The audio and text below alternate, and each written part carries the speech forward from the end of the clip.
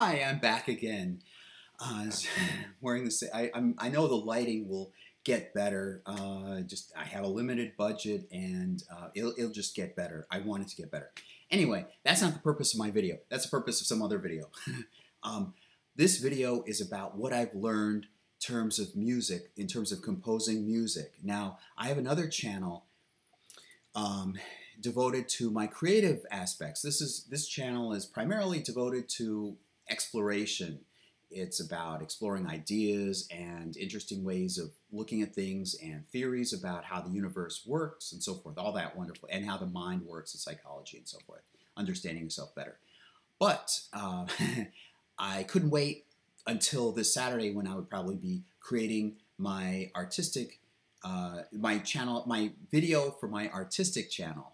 So I want to share it with you. Okay, it's a few things I've picked up about composing music little quick history. Um, I hadn't ever written music before. Um, it had been basically poetry. I started off um, as a little, maybe a toddler, at least element, early elementary school, maybe um, seven or eight, something like that.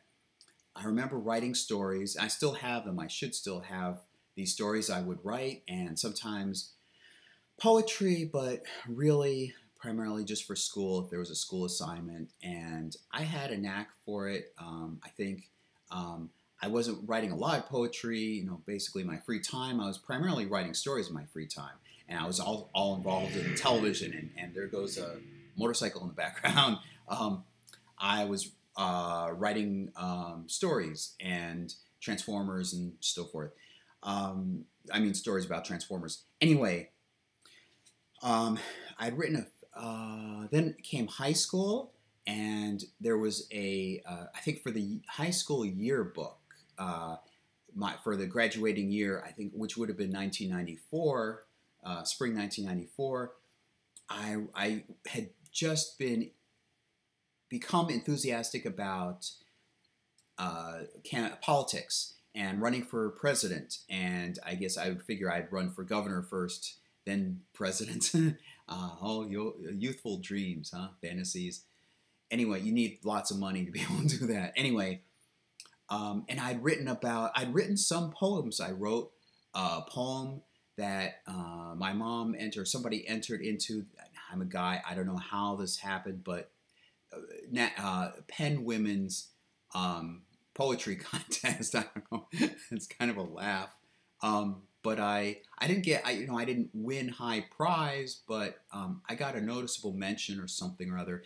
And there was somebody who um, didn't show up, so I was able to get a a, a little model of it, the Constitution, the um, the sailing ship, the Constitution, and being a Star Trek fan, of course, I enjoy exploration, and sailing ships would be like the precursors to the starships in the Navy of the future is depicted in the in Star Trek.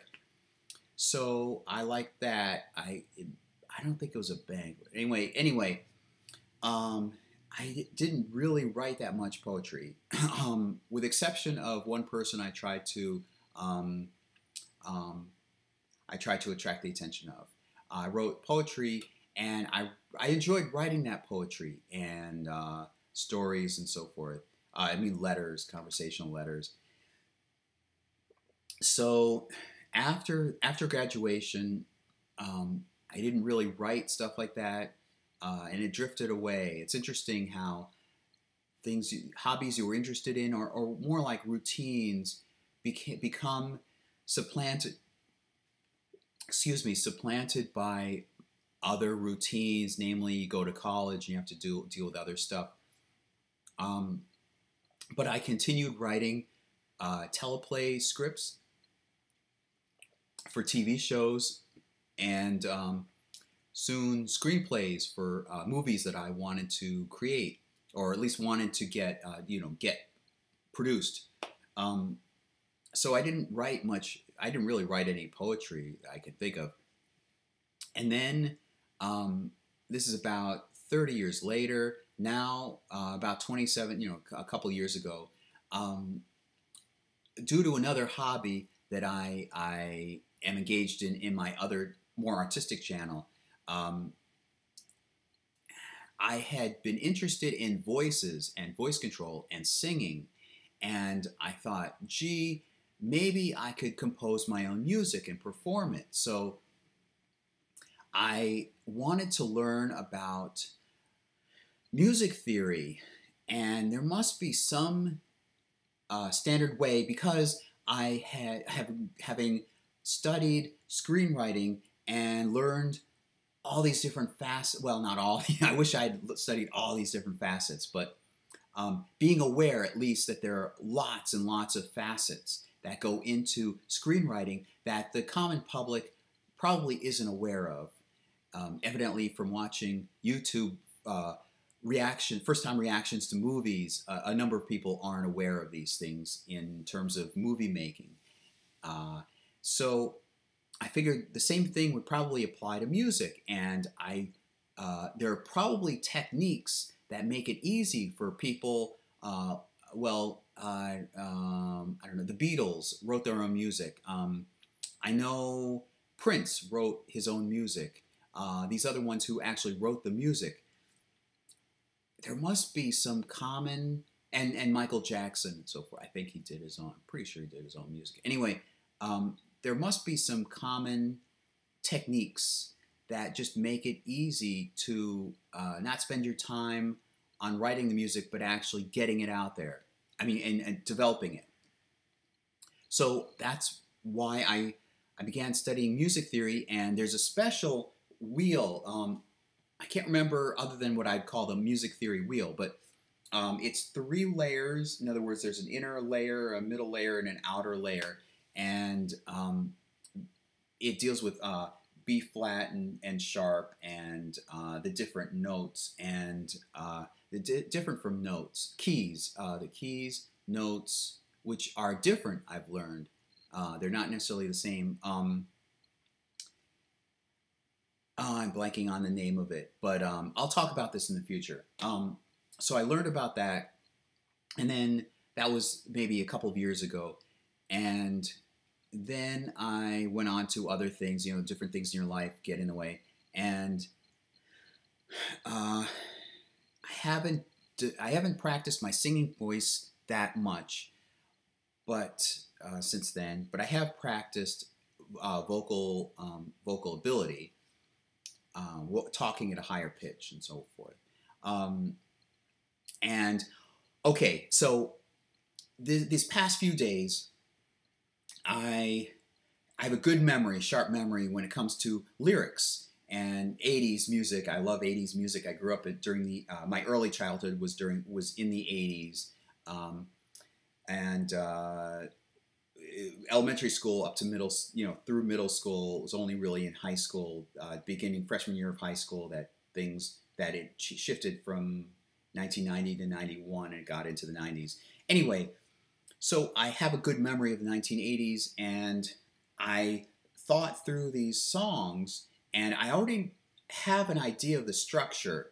Um, there seems to be, I mean, there are variations, but uh, once you know the common way of structuring a song, then you can play around. The same thing with um, with screenwriting and storytelling people say, oh, there are no rules, uh, write whatever you want, let it flow out, and so forth. Well, um, I think I'm a believer in knowing the basic structure. Once you know the basic structure, then you can fluctuate and play around with things. Um, so, the basic structure, as I'm familiar with it, is you have like a, an instrumental in the, in the beginning without any words, and I think that my these are my suspicions. This is not from on high. This is not from music school or anything. But my suspicion is that that's the backbeat or the the uh, background beat that establishes your melody and uh, in, in, order to be a be, ha, uh, to write a popular song, you need to have a recognizable beat. You ha- need to have a recognizable I shouldn't say beat, recognizable melody so that people can recall and connect that melody with your song. Um, make it identifiable, make it literally make it iconic. Um, so that you have the instrumental at the beginning, and then you have what I will call a stanza. I call a stanza basically usually like four lines. Sometimes there are two or something, but but basically a stanza, uh, and then sometimes there are two stanzas, um, and there may be what's called a bridge line, a bridge verse, um, which would be like a bridge, a transition from the stanza into the chorus. Now the chorus would be uh, another section of the song, which would be maybe usually one stanza, maybe two stanzas, usually one stanza. Uh, I shouldn't even say usually, just one or two stanzas. so you have an instrumental you where you establish the melody, and then you have a stanza or two, and then you have the chorus, and then you have um, a second stanza or two, and then you have a chorus, and then here's the somewhat the interesting part. Uh, after that, which would be kind of what I would call Act Three, you have a period of an instrumental where the instrumental really um, takes hold, and then after that, uh, sometimes the song goes into a chorus or repeats the chorus or do, does variations of the chorus, or sometimes there could be a sometimes there is a, a third kind of stanza group. So you could have like one uh, first stanza and then or stanza or two. I'll call it just one first stanza, and then chorus, and then second stanza, and then like an instrumental period, and then either the chorus repeated again, maybe with variations, or it drifts off um, towards the end of the song, or a third stanza, or both something like that. So there's a little bit of flexibility there. Uh, there's enough room for flexibility there while still maintaining a, a, basic structure. Now, you could take a song like, now I, I don't have any fear, uh, I hope, I don't have any fear about YouTube striking this because I'm just mentioning songs. I hope I can just mention these songs. I'm not singing anything. Um, some songs, well, I categorized, was it, I think last year, I earlier last year, um, I tried to figure out like three categories, or I tried to figure out different categories of songs, uh, different what I would call genres, which is a French term, which literally means type or category of song. There's one that I would call praise uh, or adoration. Uh, basically, it's a song singing about how great something is. Um, and there's no contradiction there's no pushback in during the song it's just how great and wonderful this thing is um, then there's another type that i think of as more intellectually developed where there's a conflict and you see the same thing in film and tv good stories akin to good songs good stories have some kind of a conflict and you're you're you're going back and forth. And the interesting thing is, which way would you go? And it's it's also arguing both points, and that gets into dramatica, which is a whole other thing.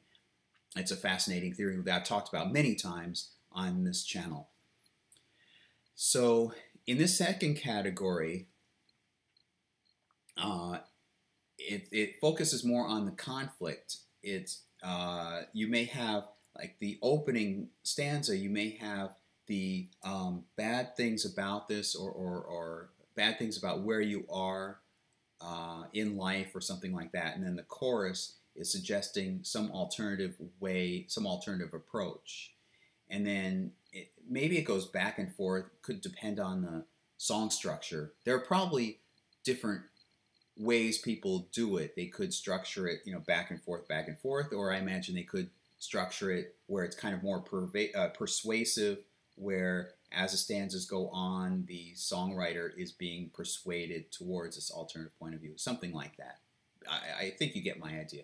So one comes to mind is Flowers by Miley Cyrus. At the beginning, um, she sings about how, uh, I don't want to recite lyrics, uh, she sings about how things have broken down and what had been hope, you know, uh, what had been some source of hope built up has broken down. And then in the chorus, she sings about how she, in so many words, uh, she can uh, um, not rely on anyone else. I hope I'm reading that correctly, but she can she can have herself at least um, to keep herself company rather than depending on someone else. I think if I read the song correctly, and then it's sort of more persuasive, meaning there there's a conflict there, and she's she's reminding herself about how she can um, just live being content just being by herself. And there's a song there's another song by gloria estefan or, or sung by at least by gloria estefan. I don't know if she wrote it too uh, and the miami sound machine called get on your feet where it starts off um, very depressing state in some sense i mean funny as funny as it sounds, it I liken it sort of to Franklin Delano, Delano Roosevelt, the president, um, his t- tenure in office, where um, it was the Great Depression, and ironically, the song is "Get on Your Feet," even though he could he was in a wheelchair, so he could not stand on his feet. I did not mean that in any weird way, but in some sense, maybe, ironically, maybe um, maybe his presidency where he inspired hope. I mean, I'm I'm speaking biased as a Democrat, but um, he spoke about hope and he, he he tried to keep the country going. Um, I liken that perhaps to the fact that he couldn't physically stand on his feet, so he got the country mobilized and he put all of his energy into that. Weird way. In weird way of thinking about maybe, but maybe you get my idea.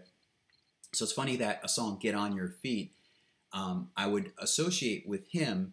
The song itself is um, a, uh, the singer singing about how um, uh, the hopes have been dashed. You think the you meaning this other person the singer is singing to um, things hopes have gone away and there's no more hope and things are practically dying. And then there's a little bit of hope. Uh, and then she sings, Get on your feet and make it happen.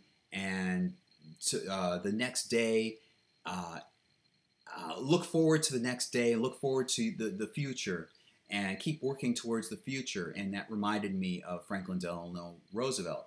Um, and then he talks. She talks about um, the second stanza about um, we've all been through some nasty weather, and of course the Dust Bowls uh, making the depression even worse, and plight and so forth.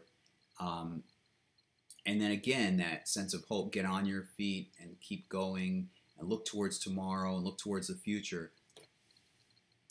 So you can see that conflict uh, in there. So that's the second type. The first type is adoration, where it's simply a song um, praising something, uh, the traits about or attributes about something or someone. Uh, and then the second one is this conflict type thing. And I forget what the third, I remember there being a third category. But um, what have I learned in, uh, you may be wondering, what the heck is he talking about? Okay, what have I now learned? Well, one, I remember in high school when I was writing that poetry, uh, it was good, but the stanzas were very long. And I did have a rhyme scheme at the end. I think sometimes I tried to have what, what they call, you know, the first line ends with something, and then the second line ends with a word that will eventually rhyme with the fourth line, and then the third line doesn't rhyme with any. The first and third lines don't rhyme at the end, and the second and fourth lines rhyme. Uh, so, uh, so I, sometimes I try to have like the first and third lines rhyming and the second and fourth lines rhyming, and I made the stand the, the verses way too long, and I crammed a bunch of stuff in there. No, no, no, no. Like my screenwriting efforts, um, I learned to keep it shorter, keep it more straightforward, and keep it simpler, but you don't have to dumb it down. You can think of other more picturesque ways of carrying forth your message. Just don't uh, don't beat a dead horse. Not beat a dead horse. Don't um, prolong. Don't don't lengthen. Don't make it too long.